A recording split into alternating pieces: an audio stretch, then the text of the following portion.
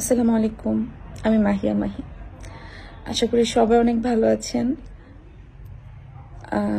আজকে এরকম একটা ভিডিও করতে হবে, এটা আমি ভাবি নাই আসলে কখনো, যে এরকম একটা ভিডিও আমার করতে হবে, সেটা আপনাদেরকে আমার বলতে হবে। কিন্তু আমার মনে হয়েছে যে না, এটা আসলে সবাইকে বলাটা এখন আসলে সময় হয়েছে, কারণ আমাদের নিজেদের জন্য, আমাদের নিজেদের ভালোর জন্যই আসলে এটা আমার মনে হয় এটা বলাটা উচিত, সবার জানা উচিত। সেটা হচ্ছে যে আমি আর রকিব আমরা আসলে খুব ভালো আন্ডারস্ট্যান্ডিং থেকেই আমরা একটা বিয়ের সিদ্ধান্তে এসেছিলাম। এবং আমরা খুব ভালোই ছিলাম। জীবনের একটা পর্যায়ে এসে মনে হয়েছে যে আমরা আসলে আহ, দুইজন দুজনের জন্য আসলে না। এবং সে খুব ভালো একজন মানুষ খুবই পরোপকারী একজন মানুষ খুবই কেয়ারিং একজন মানুষ। এই পর্যন্ত যতগুলো দিন তার সাথে আমি কাটিয়েছি সে আমার অনেক যত্ন নিয়েছে। আমার অনেক টেক কেয়ার করেছে, আমার ফুল ফ্যামিলির অনেক মানুষকে সম্মান করেছে। যে কোনো প্রয়োজনে সে পাশে দাঁড়িয়েছে। সবসময় সে আমাকে একটা ছাতার মতন করে আগলে রেখেছিল। কিন্তু ওই যে বললাম না, যে একটা ছাদের নিচে দুইটা মানুষ কেন আসলে ভালো নেই। এটা আসলে ওই দুইটা মানুষই বলতে পারে। ওই দুইটা মানুষই জানে। ওই দুইটা মানুষ ছাড়া তৃতীয় কোনো ব্যক্তি আসলে তাদের প্রবলেমটা বুঝতেও পারবে না সলভও করতে পারবে না। তো আমাদের দুজনের আমরা দুজন মিলেই আসলে আমাদের সম্পর্ক যেটা ছিল, আমাদের সে সম্পর্কের জায়গা থেকে দুজন দুজনকে সম্মান জানিয়ে আমরা দুজন ডিসিশন নিয়েছি যে আমরা সেপারেট হব। আমরা সেপারেশনেও আছি। অনেক দিন যাবত আমরা সেপারেশনে আছি এবং হয়তোবা খুব সুন এটার একটা এন্ডিং হবে।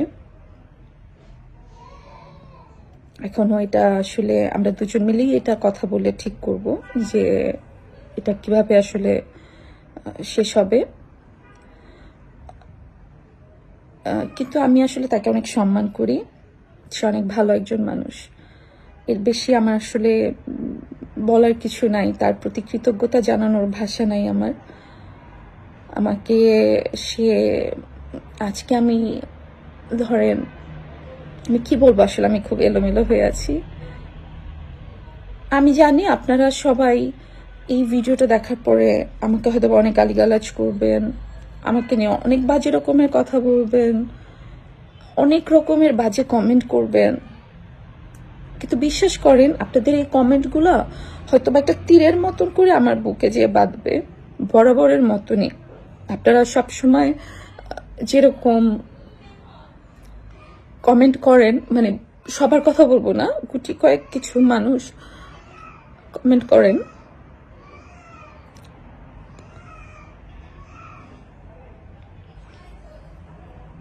কষ্ট হয়, কিন্তু আসলে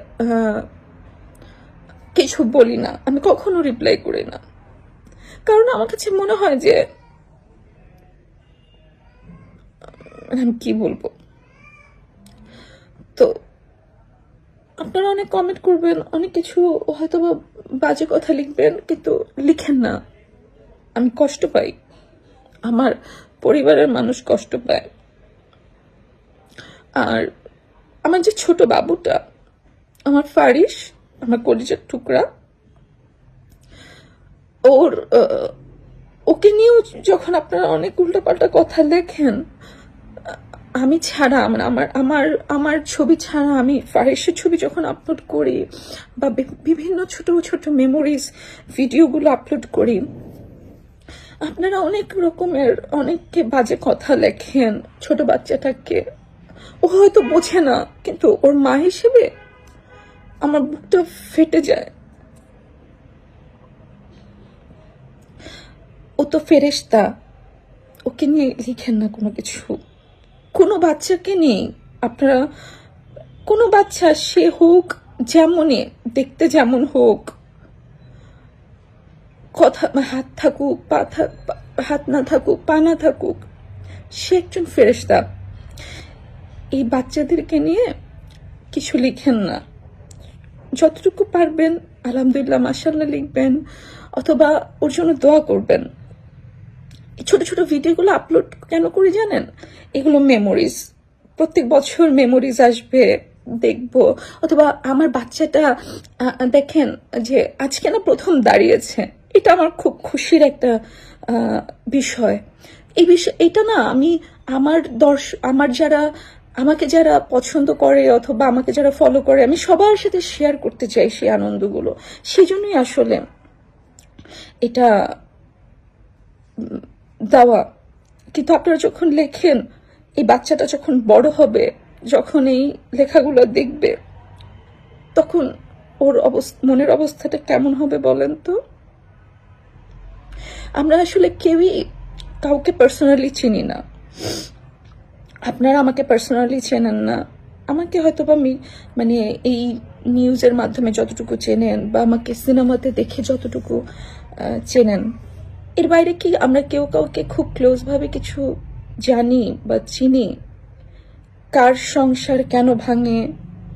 কে, কেন তার হাজবেন্ডের সাথে থাকতে পারল না? বা তার হাজবেন্ড কেন তাকে সহ্য করতে পারছে না? অথবা তার ওয়াইফটা মানে কেন তার হাজবেন্ডকে সহ্য করতে পারছে না? অথবা দুইজন কেন ভালো নাই? অথবা দুইজনের মধ্যে কি এমন ঝামেলা হয়েছে? এগুলো তো আসলে আমরা সোশ্যাল মিডিয়া থেকে বুঝব না। তাই না? তো আমরা কাউ, কাউকে নিয়ে জাজ না করি। আমরা, আমি শুধু আপনাদের সবাইকে, আমার এক হাতে ফোন ধরে রাখছি তো। আমি সবাইকে হাতটা জোর করে আমি সবাইকে অনুরোধ জানাচ্ছি যে আমার আর ফারিসের জন্য আপনারা দোয়া করবেন। আমি আমার ফারিসটাকে নিয়ে যাতে ভালো মতন থাকতে পারি। আমার এখন অনেক দায়িত্ব। এই দুইটা বছর আসলে কোনো কাজ করি নাই। কোনো রকমের আমার প্রফেশন থেকে আমি আসলে মোটামুটি অনেক দূরে। তো আমি নতুন করে কাজ শুরু করব ইনশাল্লাহ আমার লাইফে এখন অনেক যুদ্ধ। আমার বাচ্চাটার ও বড় হবে।